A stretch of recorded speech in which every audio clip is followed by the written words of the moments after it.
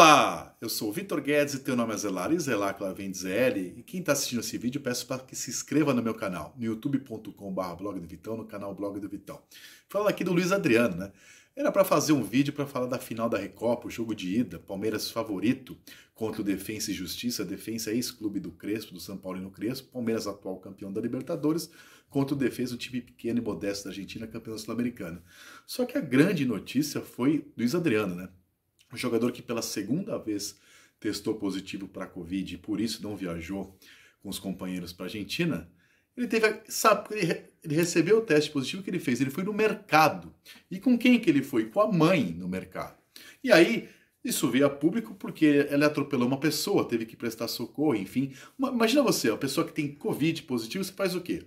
Você fica em casa sozinho, isolado, ou você sai com a sua mãe né? Enfim, e, e, coloca, ah, e a declaração que ele postou no Instagram dele é que não, ele só foi ficar no carro, ou seja, com a mãe dele pode ficar no carro. Ou a mãe dele tem Covid também e ela foi para o mercado com as pessoas, ou não tem e ele foi com a mãe de lado, com a mãe.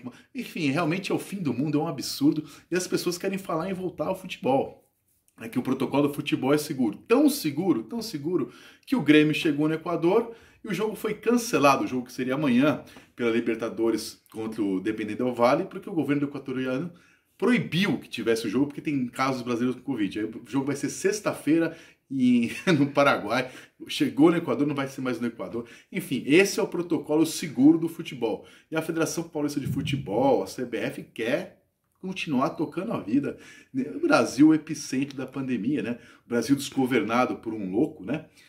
que não comprou vacina e apostou na cloroquina, um jogador que testa positivo de vez de ficar em casa, vai no mercado com a mãe. Parabéns para o Luiz Adriano, que grande cidadão, que grande ser humano, assim.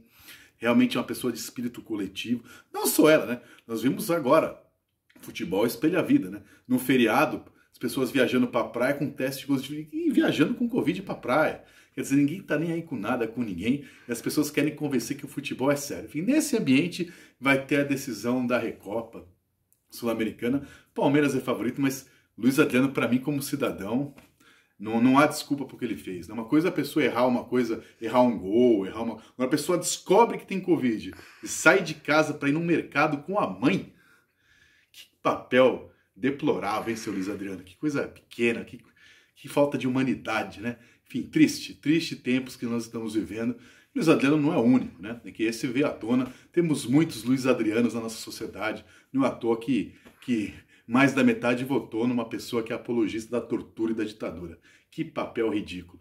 Com Luiz Adriano, sem Luiz Adriano, sem Luiz Adriano, o Palmeiras é favorito quando defende justiça. E aí não adianta nada o Palmeiras falar que vai multar o jogador, né?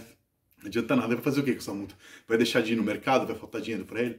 Enfim, que falta que falta de humanidade, né? Realmente é de dar nojo.